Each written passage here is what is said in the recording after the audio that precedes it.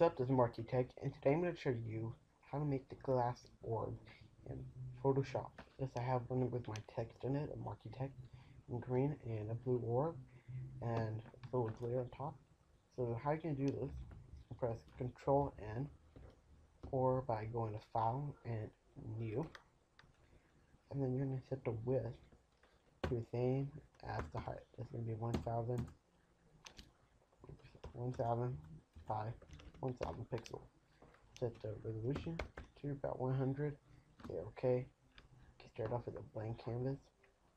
We're going to go to our foreground color. We're going to set it as a blue. And don't ask me how I got this color scheme. I have no idea. Okay, now go into the ellipse tool. Make sure your ellipse tool is selected. Hold back, hold a shift, and while clicking, and making a circle. Okay, now we can call shape 1.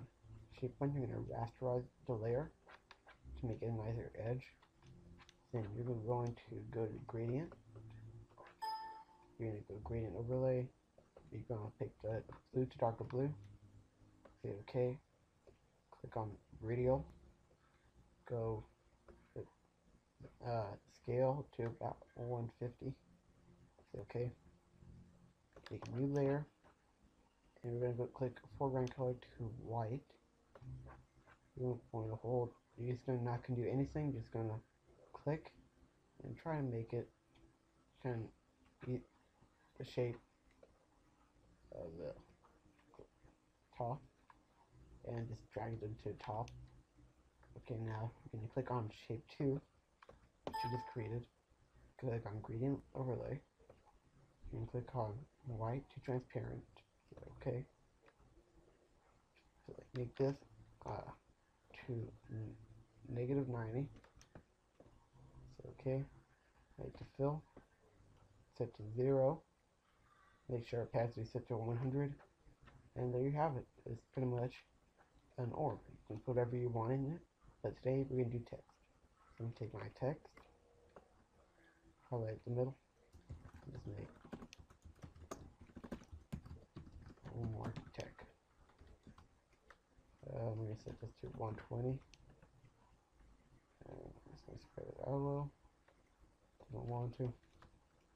Let's adjust with the shot size. Right there it is. Oh, you know what? Maybe a little smaller. Center it. Okay. And there it is. Now what you do, you can have it have a drop shadow in. Or inner shadow, we call it by double clicking it and click on inner shadow you can adjust the depth of it to make it look like it's like built into the orb like a 3D effect. And that's pretty much it. So this is Mark D Tech. Check out our new site markdtech.tk links in the bottom. Follow us twitter.com forward slash Mark DeGraca. And like this video and comment if you like. And I'll reply to most of the comments I receive. If it's positive, if it's negative, I my reply or I might block you. So please do not spam the comments. And that's pretty much it. Subscribe and do it and whatever. Okay, check back in for more video with Mark D Tech.